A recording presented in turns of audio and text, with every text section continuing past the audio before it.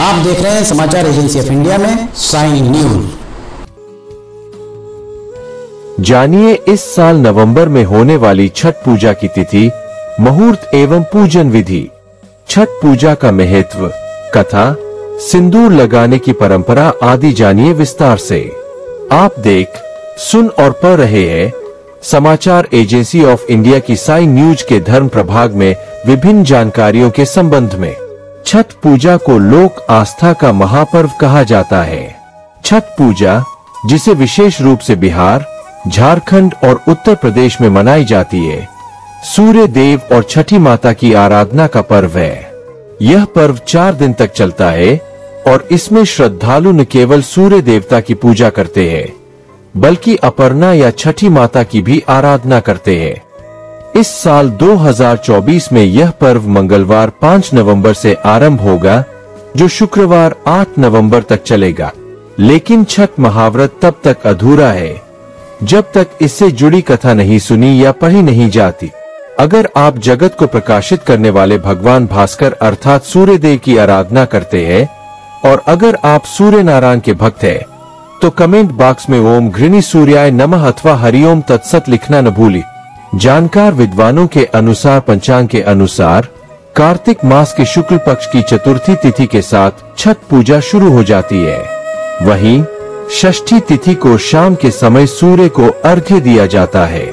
इस साल कार्तिक शुक्ल पक्ष की षष्ठी तिथि 7 नवंबर को रात बारह बजकर इकतालीस मिनट से शुरू हो रही है, जो 8 नवंबर को रात बारह बजकर चौतीस मिनट पर समाप्त होगी। ऐसे में उद्या तिथि के अनुसार छठ पूजा 7 नवंबर को मनाई जाना उचित होगा। पंचांग के अनुसार, एक साल में लोक आस्था का महापर्व छठ दो बार मनाया जाता है।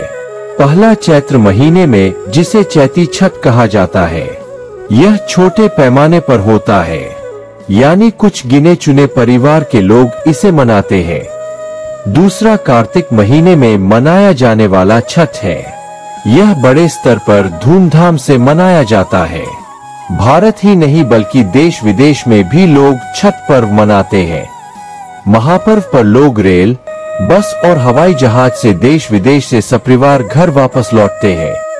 छठ पूजा का पहला दिन 5 नवंबर को नहाय खाए छठ पूजा का दूसरा दिन 6 नवंबर का खरना, छठ पूजा का तीसरा दिन 7 नवंबर को संध्या अर्घ्य एवं छठ पूजा का चौथा दिन 8 नवंबर को उषा अर्घ्य दिया जाएगा। कार्तिक मास में मनाया जाने वाला छठ कार्तिक महीने के शुक्ल पक्ष की चतुर्थी तिथि से चार दिवसीय लोक आस्था का महापर्व छठ प्रारंभ हो जाता है। सामान्य तौर छठ पर्व बोला जाता है। इसके अलावा इसे महापर्व बरका पर्व सूर्य षष्ठी, डाला छठ, डाला पूजा और क्षेत्रीय पूजा के नाम से जाना जाता है। इस व्रत में महिला, पुरुष नए कपड़े पहनते हैं। छठ पूजा की प्रक्रिया जानिए। छठ पूजा का पहला दिन यानी नहाय खाए पाँच नवंबर, मंगलवार है। दूसरा दिन 6 नवंबर, बुधवार को खरना है। तीसरा दिन 7 नवंबर, दिन गुरुवार को शाम का अर्घ्य है। चौथा दिन 8 नवंबर, दिन शुक्रवार को सुबह अर्घ्य के साथ लोक आस्था का महापर्व छठ का समापन हो जाएगा। सुबह के अर्धे के बाद छठ व्रती महिलाएँ घर आकर छठ पूजन सामग्री का घर में पूजा कर पारण करेंगी। छठ पर्व या षष्ठी पूजा कार्तिक शुक्ल पक्ष के षष्ठी को मनाया जाने वाला एक आस्था का बड़ा पर्व है। दिवाली के छह दिनों बाद छठ पूजा की शुरुआत होती है। इस साल छठ पूजा पाँच नवंबर से नहाय खाए के साथ शुरू होगी। इसके बाद छठ पर्व चार दिनों तक चलते हुए खन्ना संध्या अर्घ्य प्रातःकालीन अर्घ्य के साथ 8 नवंबर को समाप्त हो जाएगा। छठ पूजा की शुरुआत कैसे हुई? इसका जवाब हमें कई पौराणिक कहानियों में मिलता है। पौराणिक कहानियों के अनुसार त्रेता युग में माता सीता और द्वापर युग में द्रौपदी ने छठ पूजा व्रत रखकर सूर्य देव को अर्घ्य दिया आइए विस्तार से जानते हैं छठ पूजा का इतिहास और छठ पूजा की शुरुआत की कहानी। पौराणिक कथा के अनुसार राजा प्रियव्रत बहुत दुखी थे क्योंकि उनके कोई संतान नहीं थी। उन्होंने महर्षि कश्यप को अपनी समस्या बता। महर्षि कश्यप ने उन्हें पुत्रेष्टि यज्ञ कराने की सलाह दी। यज्ञ के दौरान आहुति के लिए बनाई गई खीर रानी मालिनी को खाने को दी गई। खीर खाने से रानी गर्भवती हुई और उन्होंने एक पुत्र को जन्म दिए। लेकिन दुर्भाग्य से बच्चा मृत पैदा हुआ।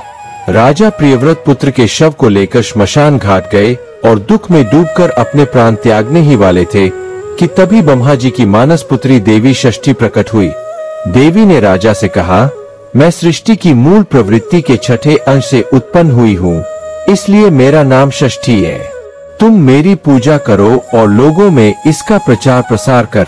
देवी षष्ठी के कहने पर राजा प्रियव्रत ने कार्तिक मास के शुक्ल पक्ष की षष्ठी तिथि को विधि विधान से उनका व्रत किए। देवी की कृपा से उन्हें जल्द ही एक स्वस्थ पुत्र की प्राप्ति हुई।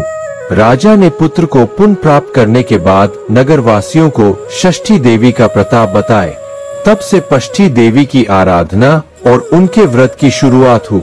वहीं एक अन्य कथा के अनुसार रामायण की कहानी के अनुसार जब रावण का वध करके राम जी देवी सीता और लक्ष्मण जी के साथ अयोध्या वापस लौटे थे तो माता सीता ने कार्तिक मास की शुक्ल पक्ष की षष्ठी को व्रत रखकर कुल की सुख शांति के लिए षष्ठी देवी और सूर्य देव की आराधना की इसके अलावा द्वापर युग में द्रौपदी ने भी अपने पतियों की रक्षा और खोया हुआ राजपाट वापस पाने के लिए षष्ठी का व्रत रखा इसकी पौराणिक कथा भी जानिए।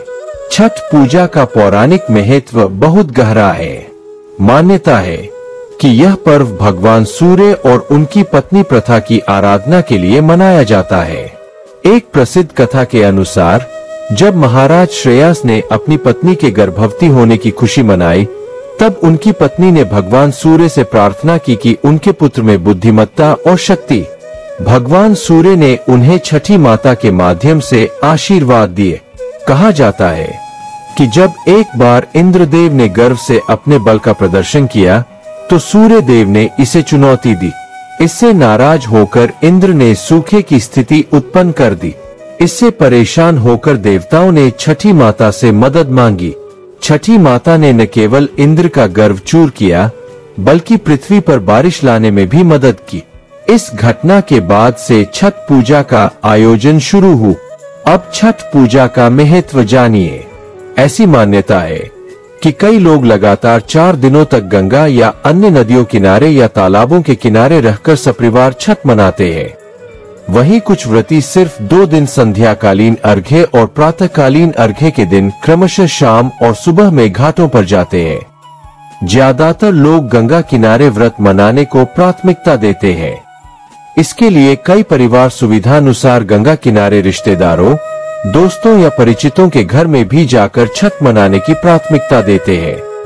इस पूजा के करने से लोगों की कामनाएँ पूरी होती है और घर में सुख समृद्धि का वास होता है। अब जानिए नाक से लेकर सिर तक सिंदूर का महत्व। छठ पर्व पर महिलाएँ सिंदूर अपने सिर से लेकर नाक तक लगाती है और इस सिंदूर की तुलना सूरज की लालिमा से से की जाती है। इस प्रकार से सिंदूर लगाने के पीछे मान्यता है कि सिंदूर की लंबी लाइन की तरह पति की उम्र भी लंबी होगी। ऐसा करने से छठ माता की कृपा प्राप्ति होती है और वे सुख समृद्धि का आशीर्वाद देती है। जानिए नारंगी सिंदूर ही क्यों लगाया जाता है। मांग में आपने सामान्य तौर पर लाल रंग का सिंदूर भरे हुए महिलाएँ देखी होंगी लेकिन छठ पर्व पर बिहार और झारखंड की महिलाएँ नारंगी रंग का सिंदूर सिर से नाक तक लगाती है। इसका कारण इस रंग की शुभता है। आपको बता दे कि सिंदूर हनुमान जी को चढ़ाया जाता है। भगवान हनुमान ब्रह्मचारी थे और विवाह के बाद दुल्हन का ब्रह्मचर्य व्रत समाप्त होकर गृहस्थ जीवन की शुरुआत होती है। ये प्रथा बिहार और झारखंड की ही नहीं, बल्कि कई जगहों पर ऐसा होता है। हरि ओम। अगर आप जगत को प्रकाशित करने वाले भगवान भास्कर अर्थात सूर्य देव की आराधना करते हैं, और अगर आप सूर्य नारायण के भक्त हैं तो कमेंट बॉक्स में ओम घृणी सूर्याय नमः अथवा हरिओम तत्सत लिखना न भूली। यहाँ बताए गए उपाय, लाभ, सलाह और कथन आदि सिर्फ़ मान्यता और जानकारियों पर आधारित है। यहाँ यह बताना ज़रूरी है कि किसी भी मान्यता या जानकारी की समाचार एजेंसी ऑफ़ इंडिया के द्वारा पुष्टि नहीं की जाती है। यहाँ दी गई जानकारी में निहित जानकारी विभिन्न माध्यमों, ज्योतिषियों, पंचांग, प्रवचनों, मान्यताओं धर्म ग्रंथों दंत कथाओं किम दंतियों आदि से संग्रहित की गई है। आपसे अनुरोध है कि इस वीडियो या आलेख को अंतिम सत्य अथवा दावा न माने एवं अपने विवेक का उपयोग करें। समाचार एजेंसी ऑफ़ इंडिया पूरी तरह से अंधविश्वास के खिलाफ है। किसी भी जानकारी या मान्यता को अमल में लाने से पहले संबंधित विशेषज्ञ से सलाह ले। अगर आपको समाचार एजेंसी ऑफ़ इंडिया में खबरें आदि पसंद आ रही हो तो आप इसे लाइक, शेयर व सब्सक्राइब अवश्य करें। हम नई जानकारी लेकर फिर हाजिर होंगे तब तक के लिए इजाज़त दीजिए। जय हिंद।